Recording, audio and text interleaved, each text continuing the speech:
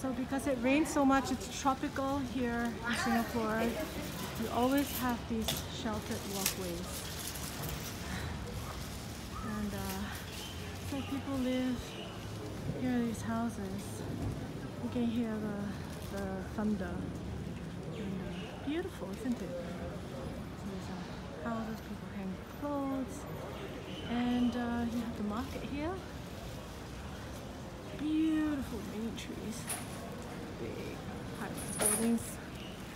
Ah.